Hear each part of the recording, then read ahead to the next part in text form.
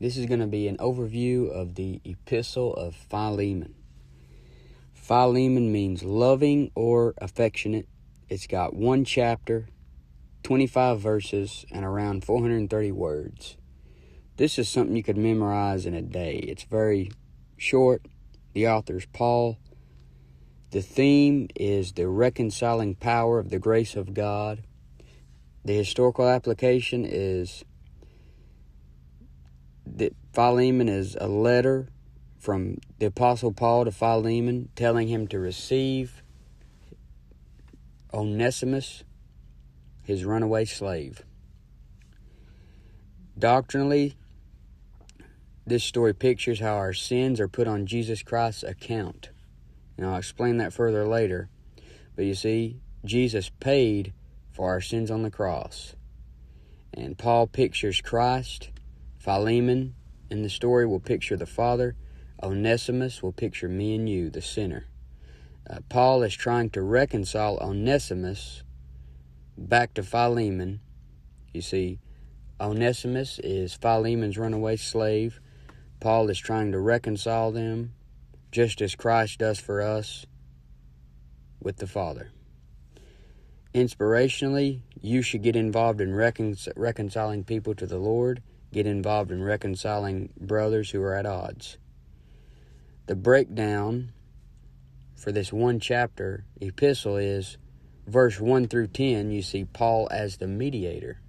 Like I said, he pictures the Lord Jesus. And what does 1 Timothy 2 5 say about the Lord Jesus? It says, For there is one God and one mediator between God and men, the man Christ Jesus. Jesus Christ is our go between, He's our mediator, just as Paul is acting as the go between for Onesimus and Philemon in this story. In verses 11 through 16, Paul is the advocate. In 1 John 2 1, it says, My little children, these things write I unto you, that you sin not. And if any man sin, we have an advocate with the Father, we have an advocate with the Father, Jesus Christ the righteous. You see, an advocate is someone who pleads your cause, and Paul will come through this epistle and explain why Philemon should accept Onesimus back. He pleads his cause. And then in verses 17 through 25, you got Paul as the substitute, and Jesus Christ became sin and took my place on the cross and my sins were placed on his account. In 2 Corinthians 5:21 it says for he hath made him to be sin for us who knew no sin that we might be made the righteousness of God in him. Paul tells Philemon that if Onesimus has wronged him or owes him anything to just put it on Paul's account and he'll repay it. Our sins were paid in full on the cross. The wages of sin is death, and the Lord tasted death for every man. So just as Paul tells Philemon that if Onesimus has wronged him or owes him, owes him anything, to just put it on Paul's account, he's going to repay it. That's what the Lord did for us. He paid it in full on the cross. Now let's take a look at this small epistle. Verse 1 Paul, a prisoner of Jesus Christ, and Timothy, our brother, and to Philemon, our dearly beloved and fellow laborer. Paul is a prisoner for preaching the gospel of the Lord Jesus and he's sending this epistle to his laborer in the faith, Philemon. And you'll notice in this little small epistle that he says a lot of people's names and he's showing that he has something to do with other Christians. And he's not one of these people that is just all you see them do is go around and talk bad about other Christians. And it's like they think that they're the only person that's right with God and they're the only person that's right and they don't recommend anybody but themselves. That's not the way Paul was. You see, all through this small epistle, especially at the end there, he is giving shout outs to people that he recommends. But Philemon is a pastor of the church in his house, and it says in verse 2 And to our beloved Apphia and Archippus, our fellow soldier, and to the church in thy house, grace to you and peace from God our Father and the Lord Jesus Christ. Grace to you and peace. Every saint needs a daily growth of grace and a daily dose of peace with of God. You see, when you got saved, you got the peace with God. Now that you're saved, you need the peace of God. Verse 10. Skipping down to verse 10. It says, I beseech thee for my son Onesimus, whom I have begotten in my bonds. Onesimus got saved under the preaching of Paul, and Paul has begotten him through the gospel. Just like it says in 1 Corinthians 4:15, what he said to the Corinthians, Paul says, "For though ye have 10,000 instructors in Christ, yet have ye not many fathers, for in Christ Jesus I have begotten you through the gospel." And he had begotten Onesimus in his bonds while he was a prisoner. He had won Onesimus to the Lord, and when you lead someone to the Lord, you become their spiritual father. And even though they shouldn't call you father, because you know Jesus said, "Call no man on earth your father," referring to it like in a spiritual sense. Uh, you've begotten someone through the gospel when you lead them to the Lord. It says in verse 11, which in time past was to thee unprofitable, but now profitable to thee and to me. You see, at one time, Onesimus was unprofitable, you see, before his conversion, but now he isn't like he used to be. He got saved, he's been learning under Paul, and no doubt about it, he's going to come back to Philemon a better servant if he comes back. Paul says, Whom I have sent again, though thou therefore receive him, that is, mine own bowels.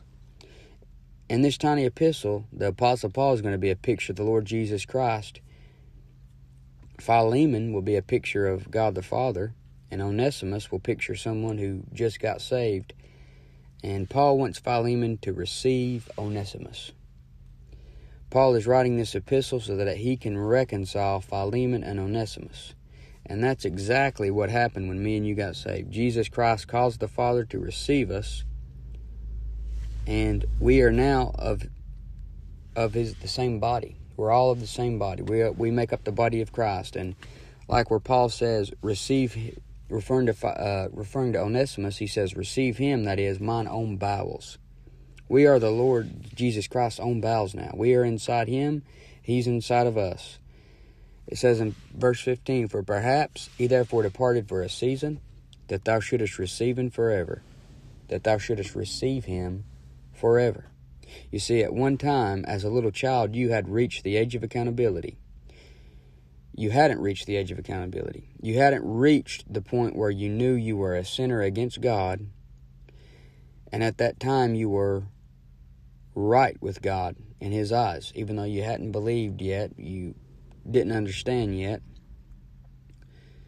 But then you realized your guilt of sin one day, and you departed for a season, just as Onesimus had departed. But then you got saved, and now the Lord will receive you forever. You see, Philemon, he was a runaway slave. He departed for a season, and now Paul is getting a hold of Philemon here, and he's like, you know, I, he's he departed for a season, but now he's right, and you should receive him forever. You see the picture there?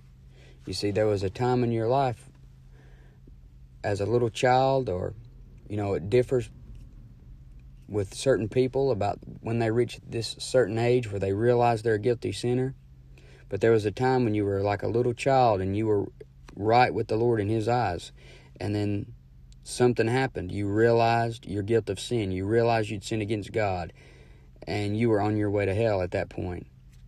But then you got saved, and now the Lord received you forever. So, verse 15 For perhaps he therefore departed for a season that thou shouldest receive him forever, not now as a servant, but above a servant, a brother beloved especially to me, but how much more unto thee, both in the flesh and in the Lord. So above a servant. Paul wants Philemon to receive Onesimus as a brother in the Lord.